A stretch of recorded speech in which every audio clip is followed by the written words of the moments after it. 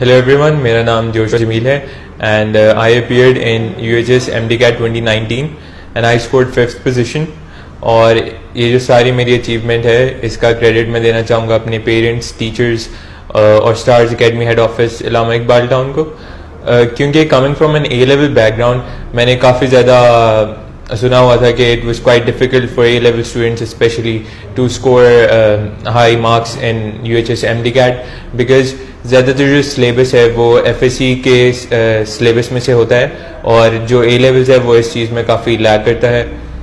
لیکن اگر آپ کی کانسیپٹ اسٹرانگ ہے even if you are from A levels اور even from F S C تو اگر آپ کے کانسیپٹ اسٹرانگلی بلڈ ہیں، تو یو ایچ ایس کا یہ جو انٹری ٹیسٹ ہوتا ہے، یہ اتنی بڑی ڈیل نہیں ہوتی۔ ایوری ون کے نہیں سیٹ اور اس کے اندر کیونکہ یہ کیومولیٹو ٹیسٹ ہوتا ہے، نہ صرف ان دو سالوں کا، بلکہ آپ کی پوری اکیڈیمک جرنی کا جس کے ساتھ آپ یہاں تک پہنچ، پہنچے۔ ہیں اور یہ آپ کی نروس کو ٹیسٹ کرتا ہے، آپ کے کانفیڈنس کو ٹیسٹ کرتا ہے، اور آف کورس آپ کی نالج کو بھی۔ تو اس کے اندر میں سجیسٹ کروں گا کہ جو لوگ بھی اسپائر کر رہے ہیں کہ وہ اگلے سال اپیئر کریں، تو کائنڈلی ان چیزوں پہ فوکس کریں اور ساتھ اپنی اسٹڈیز کو بھی لے کر چلیں۔